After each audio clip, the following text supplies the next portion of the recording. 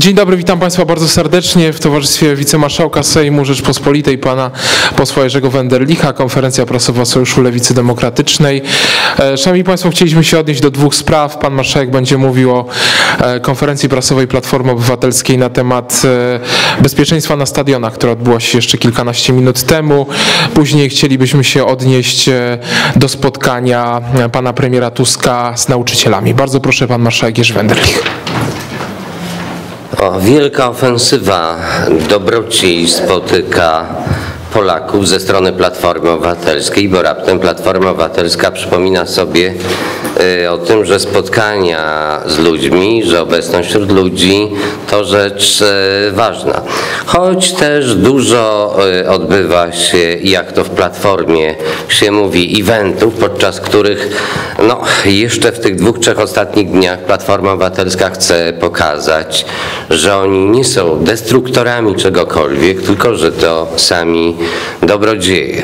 Oglądaliśmy i spot sprzed kilku dni i dzisiejszą konferencję Platformy Obywatelskiej pod tytułem Stop przemocy na stadionach. No, jeśli po czterech latach Platforma Obywatelska przypomina sobie y, o tym, że przemoc na stadionach istnieje i że bezpieczeństwo należałoby na stadionach zapewnić, to można powiedzieć, że to o cztery lata za późno.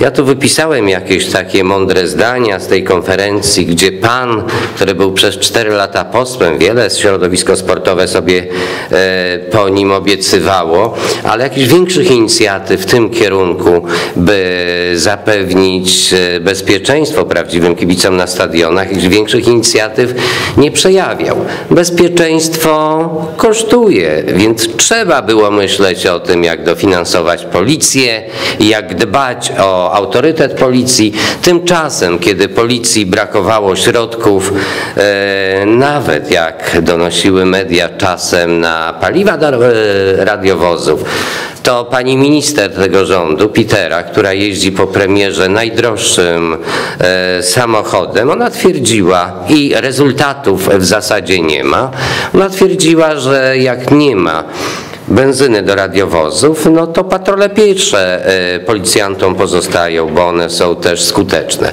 I ten cynizm przynosi dzisiaj rzeczywiście złe żniwo. Otóż Platforma Obywatelska nie potrafi odróżnić zadymiarzy od prawdziwych kibiców i zamiast poradzić sobie z zadymiarzami, były takie stadiony, na których nie wpuszczano w ogóle kibiców.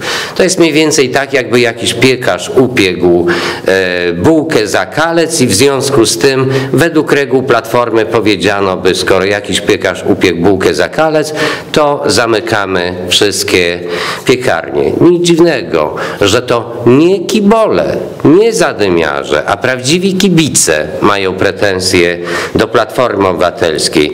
No więc takie mądrości, które żeśmy wysłyszeli na tej konferencji, to poseł Platformy Obywatelskiej, kiedy mówi o porządku na stadionach, e, taką to sentencję wygłosił. Dziecko się wychowuje od małego. Nie wiem, e, co e, w tej sentencji drzemie, co miałoby e, tę przemoc ze stadionu wyeliminować. No i dużo właśnie takich złotych myśli zrobimy, przyrządzimy, naprawimy, tylko wciąż w ustach Platformy Obywatelskiej to jest czas przyszły, a nie ten przeszły, dokonany, o którym można by powiedzieć, że coś Platforma zrobiła. Porządek na stadionach powinien być już dawno. Ale Platforma Obywatelska nie potrafiła zadbać o bezpieczeństwo ani na stadionach, ani podczas tych gonitw wokół krzyża y, po ulicach Warszawy. Więc kiedy dziś Platforma przygotowuje spot, którym gdzieś tam wygraża kibicom, czy wygraża e, tym, którzy się wokół tego krzyża gonili, to wygraża sama sobie. O, mógłbym zacytować Gogola, ale nie chciałbym aż tak bardzo kolegów z Platformy e, tu fatygować. Słowem, to oni ponoszą odpowiedzialność e, za brak bezpieczeństwa i na stadionach, i na polskich ulicach, bo zapomnieli z szacunkiem, ale z jakimś finansowym dobrodziejstwem odnosić się do bezpieczeństwa, do potrzeb policji.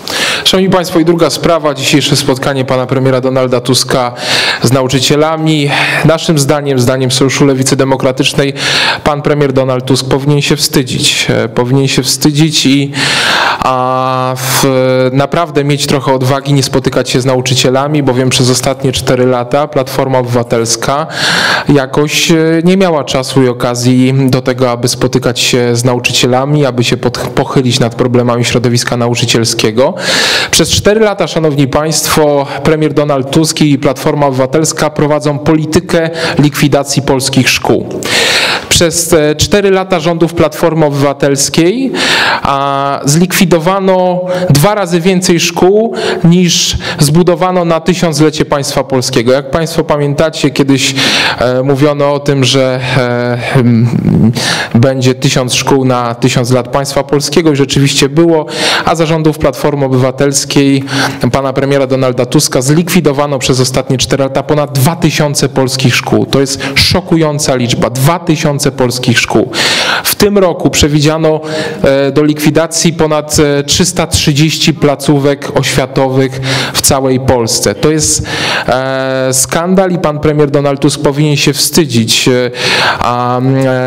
tej liczby. To jest liczba wstydu Platformy Obywatelskiej, bo wiemy do czego doszło. W czasie pan premier oczywiście się tłumaczy tym, że jest niż demograficzny, ale my mówimy jako SLD, że szkół, placówek oświatowych nie wolno traktować jak e, firm i przedsiębiorstw. Nie może być tak, że jeżeli jest niższy popyt, to zamykamy firmę, zamykamy przedsiębiorstwa, w tym przypadku szkołę, e, a jak jest e, większe zapotrzebowanie na kształcenie uczniów, to otwieramy kolejne szkoły. Szkoła to nie firma, a szkoła to nie przedsiębiorstwo. My uważamy, że niż demograficzny powinien być okazją przede wszystkim, zdaniem SLD, do utrzymania placówek szkolnych, do zmniejszenia klas, liczby uczniów w klasie do maksymalnie kilkunastu, do, od 12 do 15. Uważamy, że to jest dobra okazja do tego, żeby zwiększyć jakość kształcenia, jakość edukacji w Polsce, a,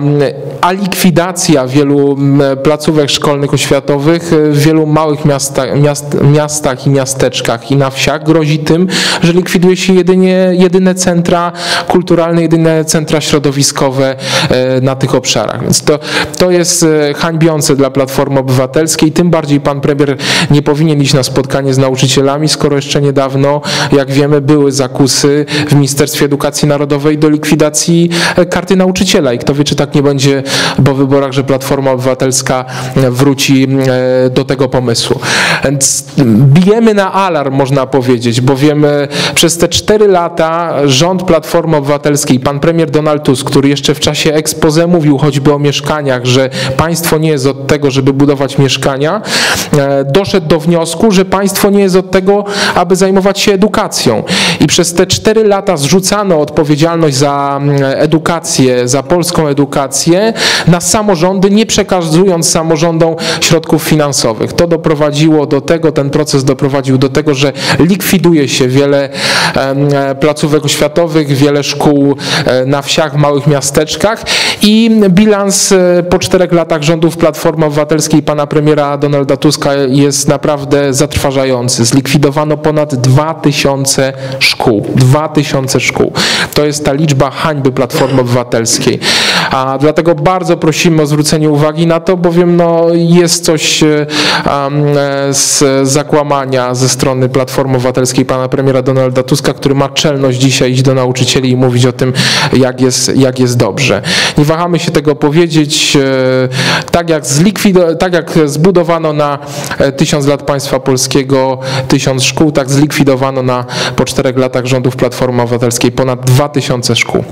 Więc do nauczycieli można by e, powiedzieć, parafrazując Bułata Okudżawę, który śpiewał taką piękną balladę Nie wierzcie piechocie, więc moglibyśmy powiedzieć teraz nauczycielom, nie wierzcie panu premierowi, bo trzy dni przed wyborami wykorzystał swoją wiedzę, że odbywa się w Warszawie spotkanie przewodniczących rad powiatowych e, ZNP. No i tam poszedł ze swoimi obietnicami, których składał już tyle. Kiedy Platforma Obywatelska przed wyborami jest taka dobra i w mowie, i w piśmie e, w sprawie karty nauczyciela, to chciałem powiedzieć, że ja w takiej debacie regionalnej w swoim rodzinnym e, Toruniu występowałem z posłem Platformy Obywatelskiej i tam bardzo mnie niepokoiły pomruki przeciwko czemu? Karcie nauczyciela. Więc może dajmy sobie spokój z kolejnymi obietnicami, patrzmy na to, co było, jak się Platforma wobec y, oświaty i nauczycieli zachowywała. Poza tym wciąż nieuregulowana jest sprawa i stosunek Platformy Obywatelskiej do tak zwanych nauczycieli tablicowych i nietablicowych. Ci nietablicowi, a więc bibliotekarze, ci, którzy pracują w przedszkolach, mają być pomijani w wielu y, y, takich drobnych już przywilejach, które płyną z karty nauczyciela. I ostatnie zdanie, kiedy rzecznik Sojuszu Lewicy Demokratycznej, pan Tomasz Kalita, mówi o likwidacji szkół, to myślę, że przede wszystkim tutaj głowę schylić powinni politycy Polskiego Stronnictwa Ludowego i sypać głowę popiołem, no ale do tego rzeczywiście e, trochę e, mm, e, może jakiejś dużej nawet dozy przyzwoitości by potrzeba, bo większość z tych szkół zlikwidowano na wsi, a przecież programem Polskiego Stronnictwa Ludowego 4 lata temu nie było e, to, że likwidować będziemy wiejskie szkoły. To tyle.